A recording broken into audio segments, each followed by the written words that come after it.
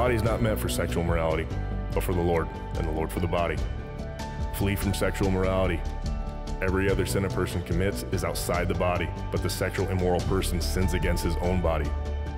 Or do you not know that your body is a temple of the Holy Spirit within you, whom you have from God? You are not your own, for you were bought with a price. So glorify God in your body. So, if you've been here for the last few weeks, you know that we're in the middle of this series entitled For the Lord.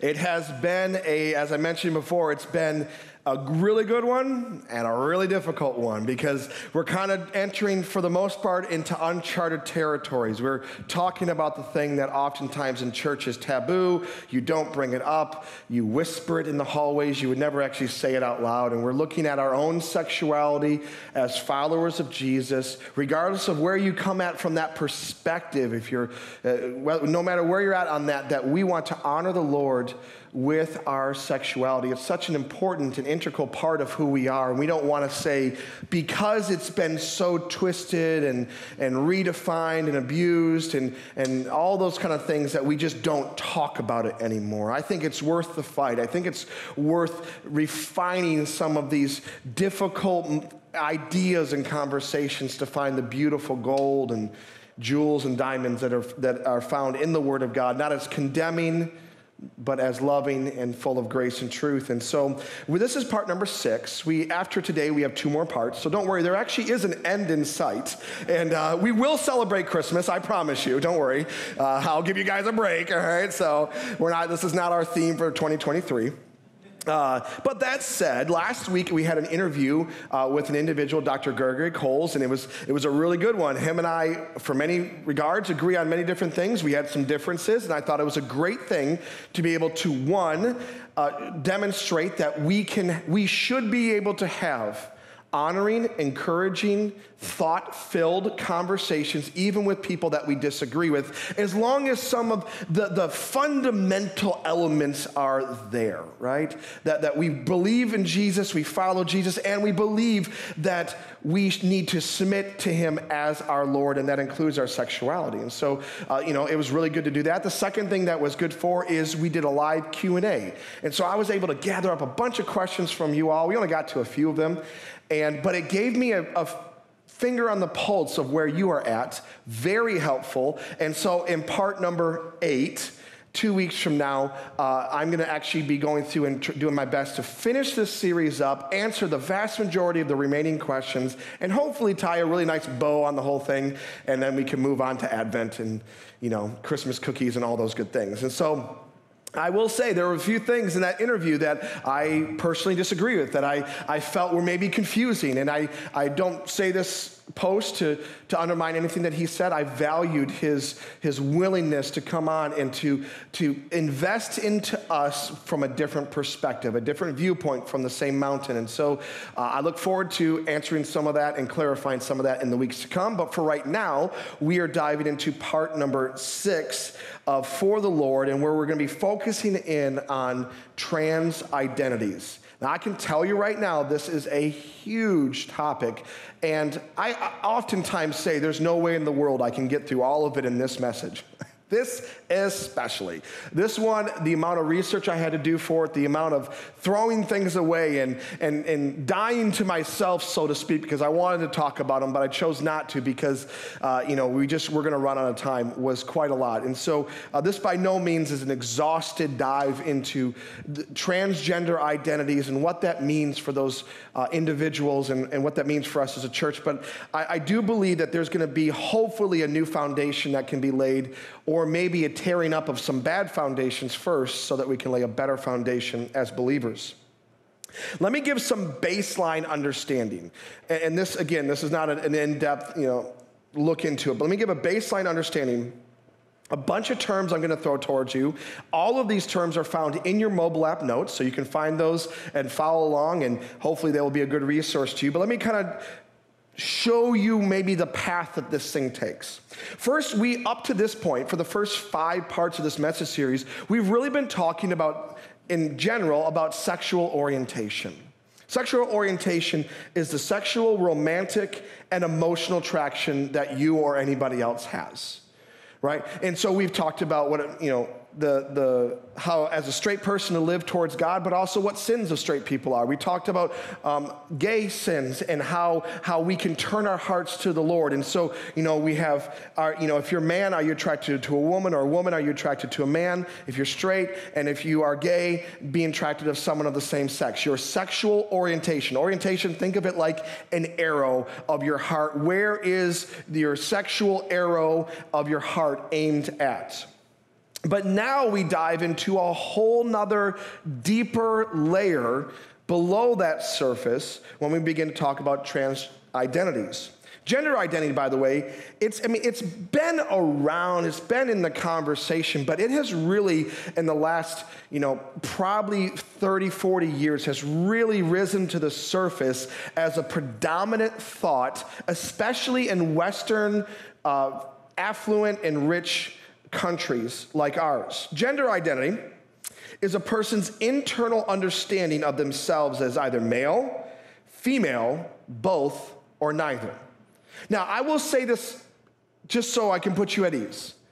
Biblically speaking, God and the Bible does not separate your biological sex and your gender.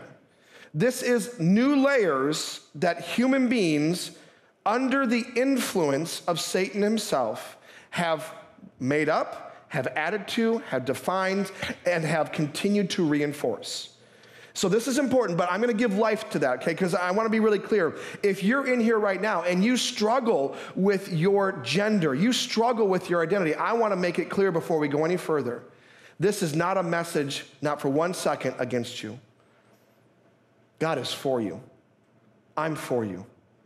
Church, I hope your heart is for them as well. God loves every one of us right where we're at in the middle of what we're doing. And God's great love for us also calls us to grow closer to Him, to become holy like He is holy, and to submit to Him daily more than we did before.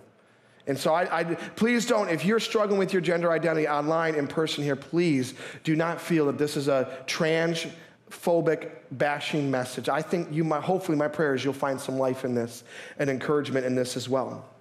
But back to this baseline understanding, these gender identities, or these, this, this gender identity is how you perceive yourself. How do you feel you really are? In fact, when there is a difference between your biological sex and your gender, how you see yourself, oftentimes the perception of gender wins out over biological sex.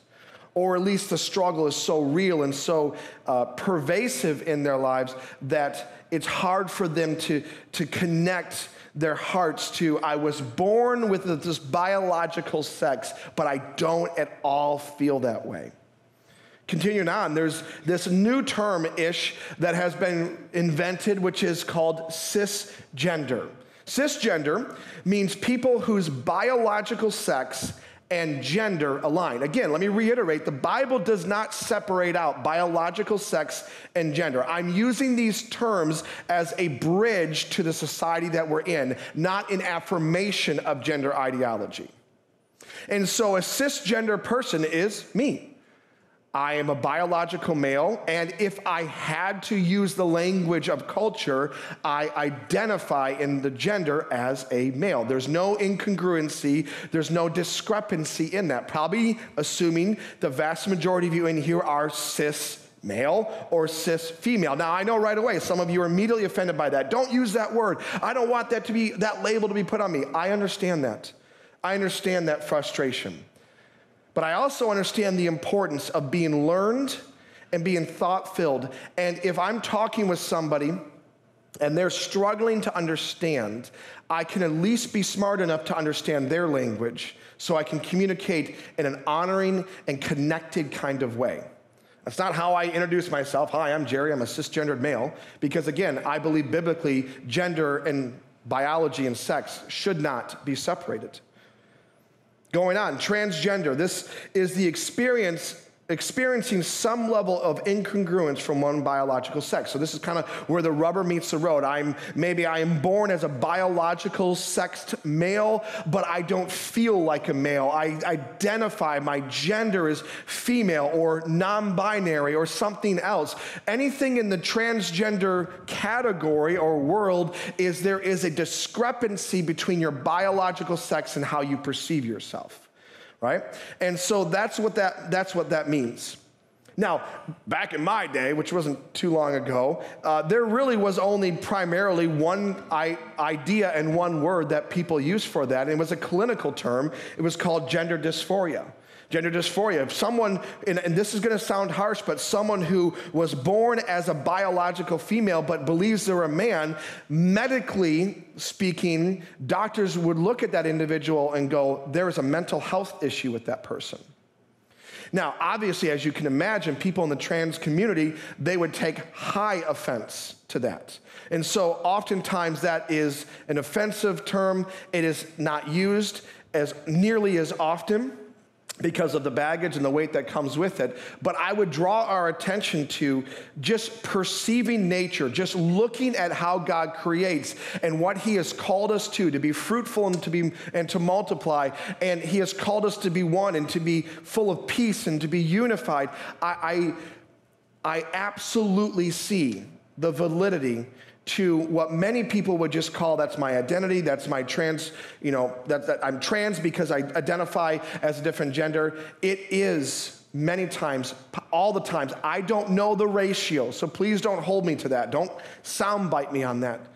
But I believe that there is an enemy that hates people, and he is adamantly, fervently at work to bring confusion, to bring sickness, and to begin to make us question some fundamental things that oftentimes throughout human civilization has not been challenged, and yet it is immensely challenged now more than ever before.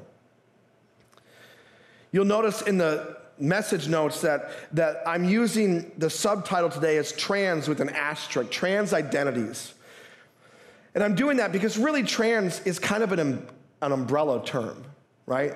It, it's, it's, what it does is it gathers up anybody whose gender identities fall outside the norm of society. The norm of society is cisgendered male, cisgendered female, right? That's the vast majority. When you talk about trans anybody, it's a very small minority group of people. And so, this idea of trans is an umbrella term that says, hey, you might be asexual, you might be consider yourself two spirited, non binary, queer, uh, or gender queer, gender fluid, gender non conforming, agender, demi boy, demi girl, the list goes on and on and on. And it does feel like there are new, new ways of describing what's going on seemingly added on a regular basis. So, in the simplest of terms, the word trans with a little asterisk is an umbrella term that I'll probably use for the vast majority of this service to kind of sum it up. By no, I mean, every single one of those ones I read, they have different perspectives, different ideas, different degrees of, of intensity, um, ranging from mild to extreme. And then you get into okay, then what do we call people? Do we call, what, what pronouns do we call them? I mean, I grew up and it was, you know, if you're a girl, it was she, her. If you're a guy, it was he, him. But now there's they, them. There's z, them. There's, there's many of them. They're just, it, it seems again that there is a, a, a list that never ends and it continues to be added to. So, right now, be honest with me. Just, I did my best to try to describe this, but this is not about me. I, I'm leading to something this. How many of you, just by raising your hands, would say, What? just be honest. It's okay.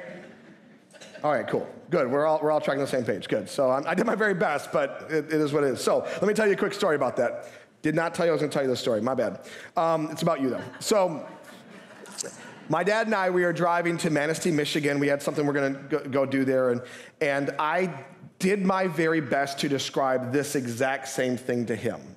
He was kind of confused, like, what are these pronouns? And so I, I, I did my best to describe it to him. And I'm driving, and he's sitting next to me. And you got to understand something about my dad. I don't think in my entire life I've ever heard him swear once. Like, the worst word I think I've ever heard him say was jeepers. Like when he got the most mad, like jeepers, and that's like dropping the F word. Like what, right? So, like, so that's who he is.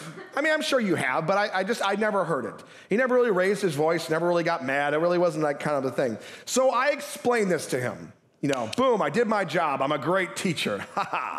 and I'm driving, and out of nowhere, now, this is gonna, I'll, I'll, qualify this, don't worry. But out of nowhere, in the loudest voice, with like the most expressive hand motions I've ever seen in my life, especially from him, he goes this Damn you, Satan, for your confusion! Remember, Jeepers was my peak at that point. I didn't know if I was going to have to cast out a demon. I don't know what was going on. It terrified me to death. And he didn't even, it wasn't even a swear word. He was actually saying to saying, damn you, Satan, to hell for because of the confusion that you're bringing. So he wasn't even then. I guess we're still at Jeepers. but you know what? He was being honest. Guys, if you're confused, let me tell you, the amount of time it took for me just to try to say what I just said in the simplest of terms. Hours, hours I spent writing that portion of this message, trying to get it to be as clear as possible. My dad's observation of the confusion of Satan is spot on. We find in 1 Corinthians chapter 14 verse 33 that God is not the author of confusion. Now, again, I am not illegitimizing the experiences of these people the feelings, the brokenness, the loneliness, the, the suicidal rates, and, and the, the deep grief and the bullying that they have experienced. I am not for one minute, and if that's you, I am not saying that, hey, it's all in your head, you know, you're just making up. I'm not saying that. Please don't hear what I'm not saying. But can I, let me just say that Satan is a master of deception to take something so fundamental as our gender, as our, as our sex, our biological sex, and add a brand, separate it and add a brand new term called gender, and then make this the, the pivot point for an entire movement of people who are changing their bodies, changing their chemistry, changing their lives. To do that, Satan is a master manipulator. And he, it is, if you're confused, everyone's confused. This, and I'm telling you, this is why I've been saying from day one simple answers to complex situations is ill advised. We cannot be believers that say, ah, that doesn't exist. The reality is, there's a lot of people that I know that are struggling with their gender identity. Even though I don't believe that it should be separated, they're struggling with their gender identity. And I cannot afford as a Christian to step back and go, well, that's just baloney. I'm not going to deal with it. There's only two genders. There's truth, yes, but then there's the grace of God that says, let me meet you where you're at. And let me begin to minister the gospel of reconciliation, of grace, and of kindness to you. I'll meet you where you're at. I'll understand, I'll try to understand your language. I will try to be kind. I will try to understand. I'll try to listen. Whether it's reciprocated or not, I think we have a long way to go as truth bearers to bringing the love of God to other people. Dr. Preston Sprinkle, who's uh, not only uh, an author of, of several different books, but really the kind of the founder of a really good um, outreach called the Center for Faith, Sexuality, and Gender. Um, he, wrote, he wrote this quote. He says, If you've met one transgender person you've met one transgender person. I love that quote. It's so simple. First time I read it, I'm like, did he not know how to write a sentence? Um, and, but it's true. We are really good at painting in broad brushes. You meet one transgender person, you see them on the news, you watch a TikTok video or YouTube video and go, that's how they all are. There it is. Guys, hear me on this.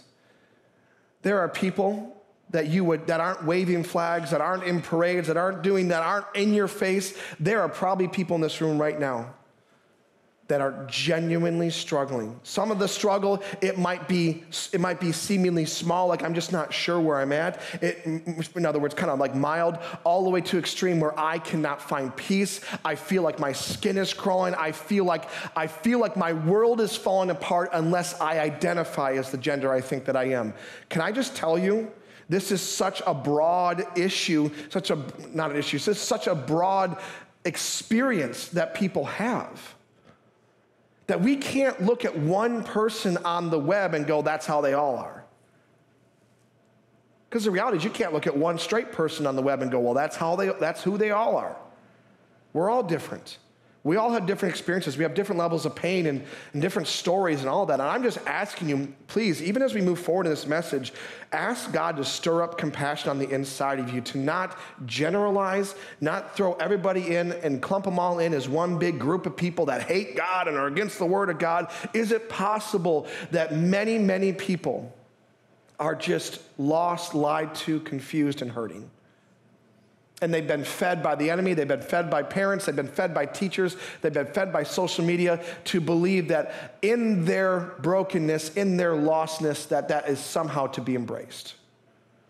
And so, if you've met one transgender person, you've met one transgender person. I want to go back to the creation account that we find in Genesis chapter 2, verse 18 through 25. Obviously, not going to read the entire thing, but I want to point out there that God created, he, God looked at Eve, or Adam, excuse me, and he was alone, and he looked at Eve with uh, Adam with all of the animals and all of creation, and he said, Hey, this is not good that he's alone.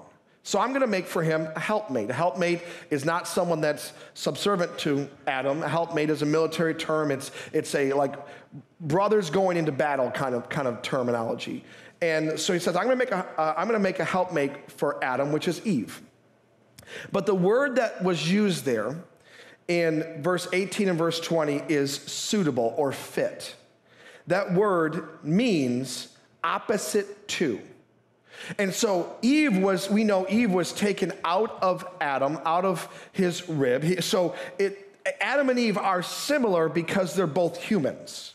So there's similarity, human, but opposite to, suitable, it's the opposite.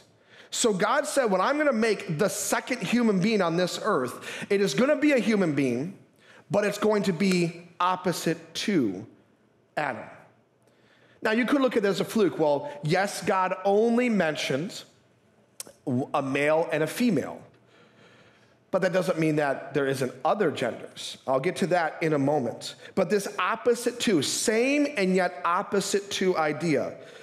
In, in science, you would look at that as being sexually dimorphic. That biology is found in nearly every single thing, maybe everything in nature, where you must have um, two different um, sexes in order for procreation to continue forward. For males, it's XY. For females, it's XX. Now, there, there's wide ranges in how uh, the animal kingdom and how plants and all that kind of stuff, you know, how, you know, so there's some animals where the male is very different than the female. There's some animals where the male and female are pretty close to each other as far as the way they look, the way they act, all that kind of stuff. But nonetheless, if you would get down to the chromosomal level of who we are, males have XY, females have XX. And no amount of social change, pressure, or acceptance changes what God created. Not even hormones being added to the body will change what God has created. It applies to species in order for us to procreate. Remember what our calling was. A part of it is to be fruitful and to multiply. Mark chapter 10, verse 6. Jesus, remember, maybe it's a fluke. Maybe God only mentioned male and female, but there's tons of other ones that are available to, to choose from. Jesus recounting in Mark chapter 10 of the creation account in Genesis chapter 1 and 2, Jesus reaffirms not all of Genesis Genesis 1 and 2, but he highlights two very important parts. From the beginning of creation, this is an intentional creating, not a morphing into, not a, not a Darwinism or anything like that. This is a creation, God, a creator God creating, and it says here, from the beginning of creation, God made them male and female. So Jesus himself, because everybody wants to throw away the Old Testament if they don't like what it says. Jesus himself says from the beginning God created them male and female. Now people would argue, yeah, but they didn't. They they weren't as advanced as us. They don't. They didn't understand gender ideology. We understand it now because we we have evolved since then. We have we have discovered things from since then, and I'll get to that more in a moment. But to what Jesus says from the beginning, God uh, creation, God made them male and female. Let me say this we are sex embodied beings with zero biblical examples nor permissions given to establish a gender ideology. There is not an example in the Bible of someone that was born in a particular sex and chose to identify as something else. Now, in biblical times, there was a bunch of people that were doing those things. But according to the Word of God, which apparently I've heard Christians should submit our lives to and believe in, to that point, there is no example given, nor do you have a single scripture that gives us any permission to even begin to explore an idea of separating out how we identify to how we were born. It doesn't exist, it's not permitted. We are sex embodied beings with zero biblical examples nor permissions given to establish a gender ideology. Let me remind you that just like in the garden, Satan is attacking our God given identities. Now, we know this our sexuality is not the entirety of our identity right? We, we get that. Like, there's so much more to us than our sex. It's a part of who we are, it's not everything. And yet, a part of the pride and LGBTQIA movement is to take a part of who we are and oftentimes to magnify that and make it the highest version of our identity. To, higher, to prioritize it higher than what it ought to be prioritized. Because no matter what it is, if sexuality is a part of who we are, we're still called to submit it to Christ. Our bodies are not meant for sexual morality, but for the Lord. So honor the Lord with your body. Now, there's a huge portion that I would love to address. There's some common questions, common affirming arguments out there, affirming too that there should be gender identities. And so ones like this hey, there are non binary or gender examples in the creation story. There isn't, but that's an argument that people have.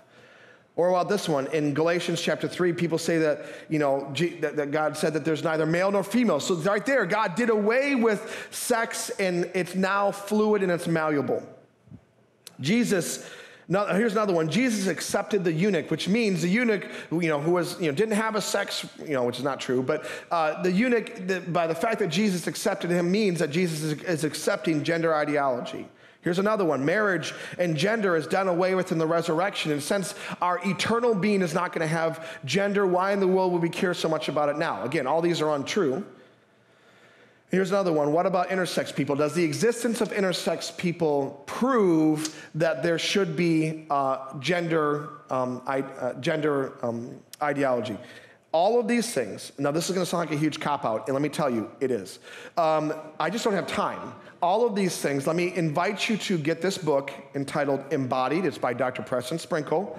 I believe it is, to my understanding, it is the most well laid out, especially when it comes to terms and understanding those terms. It's the most well laid out book that I personally read. I'm sure there's probably others.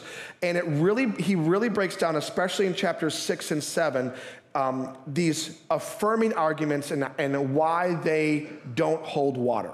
And so if you're really, if you want to really research this, maybe you're like, man, I do want to know the answer to that question or to that idea that you just submitted. Go ahead and get the book. Read it. There's Audible. There's a book that you can buy. Go ahead and let that be a part. Again, this is not meant to be the end all of messages. This is meant to spur us forward to discover more of what God has uh, in His Word for us to understand about all of this. Moving on. From the creation story, I want to look at gender roles because this is actually really important. This is a part where the church has really messed some things up. Gender roles is this how we are expected to act in culture, right? Like, think of stereotypes. You know, growing up, boys are rough and tumble, they like meat, they play with guns and sticks and rocks, and they pull girls' hairs because they don't know what to do right? And girls, they're sweet and they're cute and they're princesses and they love pink and they have dolls and that's what it is. And that's just what it was. And if you were a guy that didn't like exploring woods and playing basketball, you were made fun of. You, you, were, you were laughed at, you were called sissy, you were called, and you were called a whole bunch of different stuff. I was one of those boys that didn't like sports. I was one of those guys that would rather be inside, maybe playing video games or watching TV than, than going out there and building forts and stuff like that. And so the stereotypes, the gender roles in our society used to be so heavy handed. It was, oh, this is what boys do, this is what girls do, this, and there's nothing in between. And the damage from that, especially as it's been added to by the church, the church has been a really big part of that. Um, is it, it, it has hurt a lot of people. And so imagine growing up and you're someone that you don't know anything about gender ideology. You don't, you don't, you don't understand what gender is. You just know I don't fit in. Uh, all these boys want to go do this, but I don't really want to do that. I want to go do something different. And your parents, your pastor, your teachers, your friends, they're all calling you girl, they're calling you this, they're calling you that, even worse names. Right? Because of the stereotypes, because of the gender roles, and all that kind of stuff, it's just reinforced. And so now here you are, you have grown up, and you're just, I, I, I, don't feel comfortable. I don't feel accepted. I don't feel loved. No one understands me. Then all of a sudden, for the first time ever, you jump on social or a friend at school says, Well, what's your gender? What do you identify as? And you go, Well, what do you mean? What, what, what are you talking about? And this happens as you know, young. This can happen at four or five, all the way up into adulthood. And you go, What do you mean? What's my gender? I'm obviously a male. I'm, I'm born. And they're like, No, no, no. What do you identify as? Well, I guess I don't really like those guy things. I don't really like doing those manly things. I maybe I am a woman. In fact, actually, I feel better even saying that. I feel more at home because I've always identified more as that than with the guys. And now the seed's planted, it's been nurtured, it's been growing.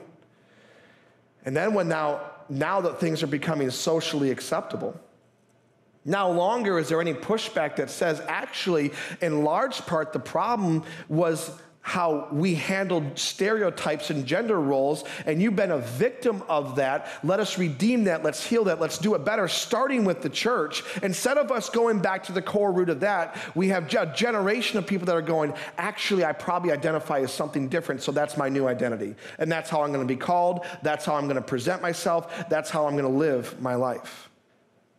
I think the church needs to repent. The church needs to get our eyes opened so that maybe not anywhere else in the world, but in the four walls of this building and the, within the interactions of our lives, we can break down the unnecessary gender roles and we can show people a better way of doing that. I'll explain in a moment. 1 Corinthians chapter 11 verse 14 through 16. Does not nature itself teach you that if a man wears long hair, it is, disgrace, it is a disgrace for him. But if a woman has long hair, it is her glory. For her hair is given to her for a covering. If anyone is inclined to be contentious, we have no such practice, nor do the churches of God. A lot packed in there. I don't want to dive into, you know, hey, was the Jewish culture of the day and age, was it good or not? I mean, there's a lot of arguments, I would say, in, in large part, the way the Jewish culture was, very, culture was very oppressive, especially towards women, where I'm not giving validity to how the Jewish world treated men and women. There were, there were some issues there. But there's some fundamental truths that's written in this scripture right here. First is, does not nature itself teach you? There is some baseline things that we can look at.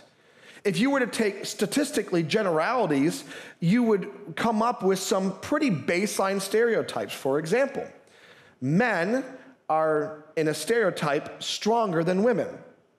If you look at all the men, added them all up, and divided that out, you would say, by and large, men are stronger than women, or more athletic, or are faster, or whatever, right? Well, what do you do with me then? Because my wife, I mean, I'm faster in short distances, but she's faster long distance. And by long distance, I mean more than six feet. So, like, like, right? So, what, I mean, am I, because of that stereotype, am I no longer a guy? Right? So stereotypes aren't necessarily, like generalities aren't necessarily bad. There's some things that we can observe. Typically, men are taller than women. Not all men are taller than women, though, right? There's some things that we can observe, but it doesn't mean that we are 100% locked into them. But then it goes on to talk about men wearing long hair and women wearing uh, short hair, and it says in verse 16, if anyone practice, or if anyone is inclined to be contentious, we have no such practice, nor do the churches of God. And I think there is a tension that's held in this that says we need to leave a lot more room within our conversations, in our worship gatherings, in our events. We need to leave room for people to not be these stereotypical male or female, that they can have different interests, interests. They can have things that they like that maybe not everybody else likes. There is some things within a lot of reason that says, go ahead. But then we begin to cross lines. Men dressing and acting to the highest extreme like women, and vice versa. That's where they say, no, the church should have nothing to do with that. There's no place for that in the church. For believers, for followers of God, there is no place for that. So, hear what I'm trying to say. As a church, we need to be more loving and accepting of boys and young men that come in here that maybe aren't super masculine, they're a little more feminine. It's okay. It doesn't mean you're a woman, it means God created you differently. You're a guy, awesome. And girls who are like i could care less about you know about barbies. I just want to like you know go shoot some guns and you know go blow some things up okay i mean i'm scared but okay. Like whatever. Like i think i think you know look at look at our men's and women's events. I'm not necessarily saying ours per se although we have some elements. Like a typical church women's event that you would go to right? It's it's tea time and doilies everywhere. And my wife hates that stuff. She's like i don't care about any of that. I'm not a frou-frou girl at all. Women is there any women here that would identify like you don't like that stuff right? And then you go to a guy's thing I mean, you basically have to like punch the wall when you walk in, you know, scratch your belly, burp, fart, and like, all right, what, what are we gonna do today? And I walk in, I'm like, I, I love video cameras and I like creativity. Can we do some stuff like that? Uh, you know, uh, even, okay, this is a fun one. Uh, at our men's events, the return that I talked about, like they have tons of bacon. And uh, when I start, yeah, yeah, right? Okay, tons of bacon. So if you haven't gone to one, just bacon, just you know, come. And uh, and so I actually talked to our women's, uh, the one that the person that ran, ran our women's one, and I'm like, hey, what do y'all serve? And, and bacon, the word bacon didn't come up at all. I was like, oh, that needs to change. Let's start serving bacon. It was a favorite thing served there. Because you know what, guys, things like that, bacon should not be a gender stereotype within the church. How many women out there like bacon? There it is, right? How many men like kale? I'm just joking. Okay, so look, shifty. I don't trust him. All right, no, I'm just kidding. So the reality is, you guys see what I'm saying? We don't need to put so much pressure on unnecessary gender stereotypes. For example, 100 years ago, pink was a guy's color, blue was a girl's color. Because pink was more vibrant and bright, it's manly, it's, it's, it's, it's loud, and blue was more subdued and kind. Well, now, flip it around, pink is girls, boys is blue. And then you go from culture to culture, there's different gender stereotypes that are there. Some are true, some are not, some should be there, some should be removed. As a church, we need to make a lot more room for people who don't fit fully within the norm. At the same time, we also have to acknowledge that there is a limit and there is a line. And I don't have clear, direct scriptures to say what it is, but there is, there's an element of this that says nature itself teaches you. And so, Deuteronomy chapter 22, verse 5, this is where it starts to get a little bit difficult, guys. A woman shall not wear a man's garment, nor shall a man put on a woman's cloak, for whoever does these things is an abomination to the Lord God. So that's a hard scripture. Anything that has the word abomination people automatically check out. Let's go ahead and throw this photo up. This photo, by the way, close your eyes if you're like, you know, slightly sensitive to things like that. So I want this photo to be up there for a reason. I'm not being insensitive. This will make sense in a moment. This is a screenshot of a show. Uh, I believe it's called Drag Queen Story Hour, or Story Time, excuse me. And this is a nonprofit that goes around to uh, libraries, to schools, and has uh, men uh, dress up in drag and they read stories and they, they, teach you know really not the only thing that they do but one of the things that they do is affirm gender you know gender uh, explore your gender and all that kind of stuff and you see the kids right there on those those men's laps and, and it's fun and you see parents bringing their kids there and paying for it and they have cake and, and, and all this kind of stuff now i see that And I'll be honest with you, my first reaction is I'm sickened by that. There's actually three things that are taking place in this photo. I want to try to describe them to you. The first one is this exactly what we just read. Men should not dress as women, women should not dress as men. Within, again, it, like women wear jeans. Like this is a stereotype that doesn't need to exist, right? We're talking about we're talking about this trans identity world that says you can just become a different gender. You can, you can identify and change yourself outwardly and inwardly. This right here, and I'm going to use this word, and this is harsh, I know. But according to the word of God, this is an abomination. We as Christians have no right to redefine that and to soften that because it doesn't socially fit well. You know what angers me about that is I see those kids getting groomed. I see them being indoctrinated and it infuriates me. Think if that were to be my own kids and that were to, those individuals were to show up at my kid's school or at a library function, that is not godly. So that's the first thing that's happened. Some of you guys saw that out of nervousness or you laughed out of, out of just, ah, that's terrible. Right? I certainly would never let my kids near any of those men. I believe, I believe there's many issues that are there. But here's the second thing that's going on. Let me remind you that those men are beloved by God. So, in our little Christianese world, we should look at the action and go that the action, what they're doing, what's being allowed, what's being celebrated is an abomination according to the Word of God. But those people who are caught up in it, are loved by God just as much as I am. He paid for them on the cross just as much as He paid for me. So when you turn the news on, you see a documentary, you look online, whatever it is, and you, something like this pops up, your first reaction is hatred towards them, or they disgust me. Or, uh, let me remind you again my prayer is that that man on the left, man in the middle, that man on the right, that they would feel loved and welcomed here in this church. First thing, second thing, third thing. As Christians, we understand the difference between who you are and what you do. We say things like this hate the sin, love the sinner, right? We can separate out who you are in Christ versus what you do. And we could say, because of who you are in Christ, don't do these things. It makes sense to us. But the third thing I must point out is that for many individuals in the LGBTQI world, especially the trans world, they do not separate what they do from who they are. So when we are over here speaking, let's say we're speaking what I would consider like English you know, God loves you, but he hates the sin. When we're speaking English, all they hear is God hates you. No, no, no, we're saying God hates the sin. No, no, no, no. You're saying, because this is who I am, you're saying God hates me and you hate me and you're against me. And so, hey, what a tricky situation that is. How do we get to proclaim grace and truth when we're speaking English and they're speaking Dutch, right? How do we do that? First off, we have to be slow down enough and be more mindful of how we connect with them. Remember, we're children of the light. We've been given the truth. We're walking in the truth. We're growing in the truth, but we've been given so much. It's available to them, but they've not seen it. They've not experienced it. They've not walked in it yet. How can we hold them to a higher standard of accountability than what has been revealed to them or what they have committed to?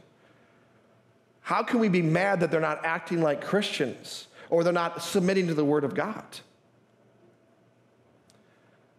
the way we talk about people is oftentimes disgusting.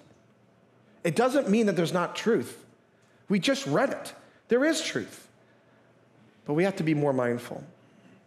I'm, i have to speed this next part up because I'm losing time here. Is there anybody in here that is a good drawer, especially if you could draw a person? That would be one to help me out. If not, this is going to be a very awkward ending. Come on up. Would you want to come up and help us out? You got this. It's going to be awesome. Come on up. Yes.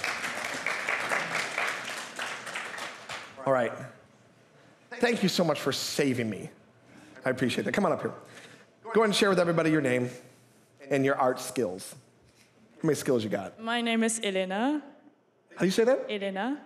I've never heard that before. Yeah, I'm from Germany. Oh, very good. Hello. and um, Yeah, I can draw, but I'm not sure if I can draw persons. But Okay. Well, even if it's a stick figure, that's fine. That's about as all. That's all I can do. So if you didn't come up here, I'd be drawing a stick person. So here's some markers. You have like three minutes. Here's what I want you to draw. I want you to draw yourself. Okay, just draw yourself. That's all. While you're doing that, I'm just going to keep teaching. When you're done, just let me know. Tap me on the shoulder or whatever. Now we go into this next section here transitioning. Transitioning is very important to this whole conversation. I cannot leave it out. Transitioning. Oh, please, yeah, go ahead and use as many colors as you want. Uh, erasers right there, whatever you need. Transitioning, because there's one thing to believe that you're something else, but then there's a whole other thing to begin transitioning towards that. Transitioning, there's many different ways that people transition in the trans world. There's socially, and so like you could transition, you know, I'm changing my gender on social media. I'm asking people to call me by a different pronoun. I'm, I'm presenting my, I'm, I'm, you know, dressing and presenting myself as if I was born a male, I'm presenting as a woman, whatever the case may be. And so there's socially, there's medically, and now that's where you actually start receiving cross-sex hormone therapy, where you start getting, if you're a guy, you start getting estrogen. If you're a girl, you start getting um, testosterone or versions of that. And then there is the surgical transitioning, which is, an, is called sex reassignment surgery. There's other names for it. And so, very in depth. A lot is going on there. So much of this requires the complicity of parents, it re- requires uh, uh, superintendents and teachers and doctors and, and leaders to comply with this, to encourage it, to promote it, and to push it forward. If you feel like a girl, start acting, talking, and presenting as a girl. Now, there's a wide range within that. Wide, wide range within that. There's from as small as, as just wearing maybe a, a, a, color that you feel is feminine if you're a guy, all the way up to a physical, surgical, irreversible change in your body. Okay? I wish I had time to go into this, but let me point you to a pastoral paper by the same organization as this book, and, and, you can download it. It goes much more in depth about the three different types of transitioning social, medical, and surgical. Very good, very in depth read. It helps you understand the dangers of it, how unhealthy it is, the controversies over it. It certainly is not complete, but it's important. Again, that's in your notes as it always is. Let me read Genesis chapter 1, verse 27 through 28. So God created man in his own image. In the image of God, he created him, male and female, he created them. How many times did God have to say it? I created you, male and female. And God blessed them, and God said to them, Be fruitful and multiply, fill the earth and subdue. Oh, that was quick and that was very good. Okay, yeah, so stay, hang tight. hang tight, okay? We're getting there. We're getting there. Okay. So let me remind you from the scripture I just read men and women, binary, two, men and women, are the image bearers of God's invisible likeness. We, it says right there, in the image of God, He created us. We are the image bearers of God. Remember, your body is the temple of the Holy Spirit. You are the image bearer of God. Whether you love your nose or hate your nose, whether you like your height or hate your height, you are the image bearer of God. So the challenge for us is do not object to, redefine, or change what God said was very good. He said, in all creation, things are good, good, good. When he made human beings, he said, very good. It's the only thing he said very good to.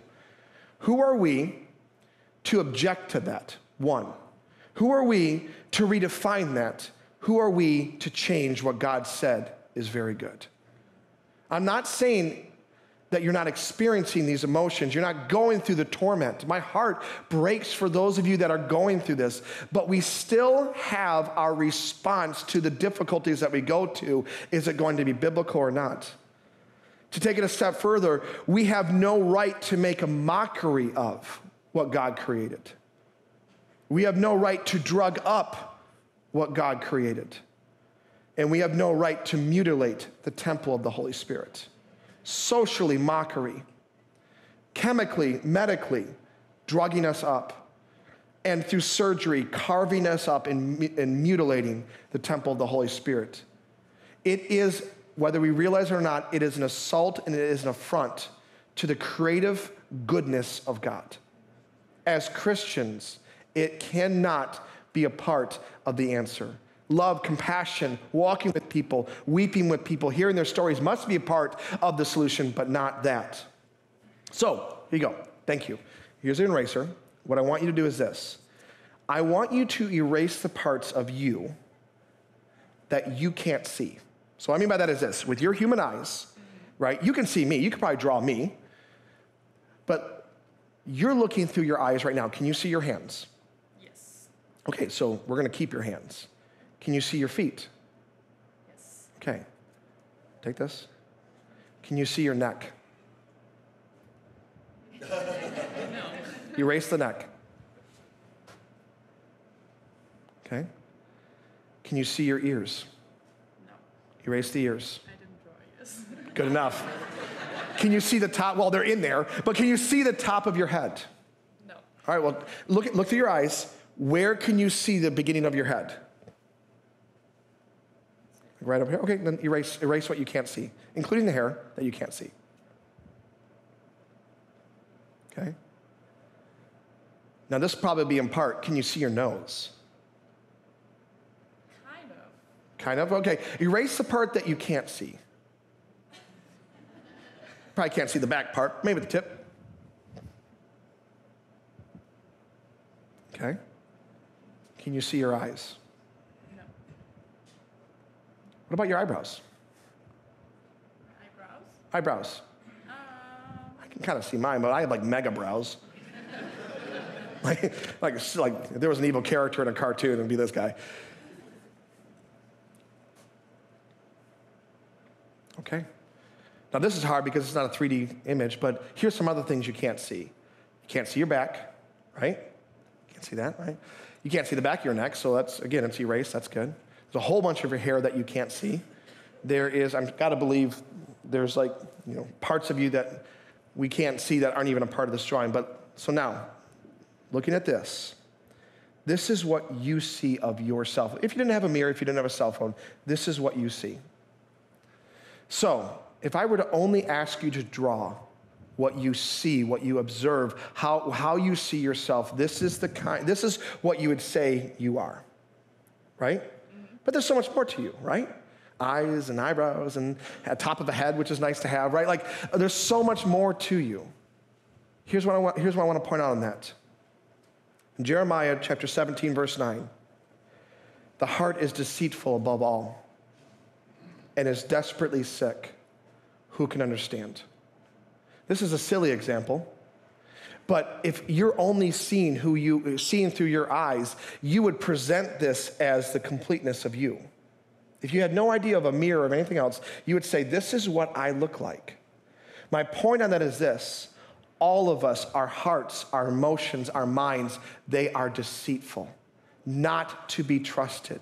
Not to, certainly not to change our lives off of, certainly not to say, This is who I am which is why we need the Word of God, which never changes, is not confusing, and is giving life everlasting to keep us on track. Thank you so much. Thank you. Give up for him.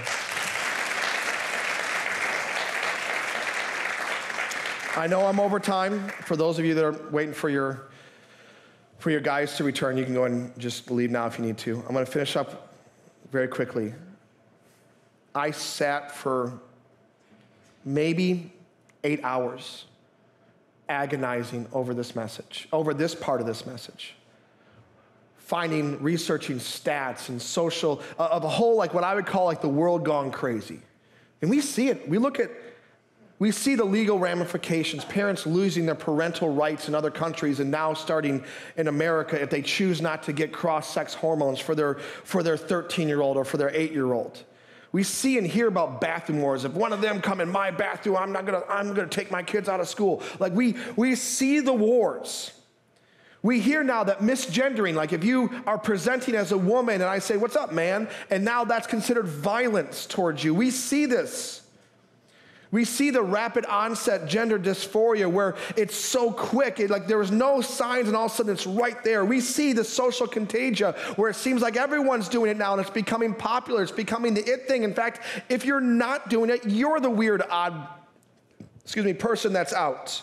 We see people identified on the extreme cases as animals and, and completely outside of our species. We see the my truth chaos that it's caused. We see media saturation and TikTok theology and social media indoctrination. We see teachers that are pushing this stuff. We see politicians that are pushing this stuff. I agonized for hours. I had lists and I had stats and I had pictures and I had all of this stuff. You guys should see my search engine history. That, it's crazy because I researched all of this stuff because I was going to come and I was going to present a, cra- a case of how crazy all of this is, how out of control it's gotten, how the world is in chaos.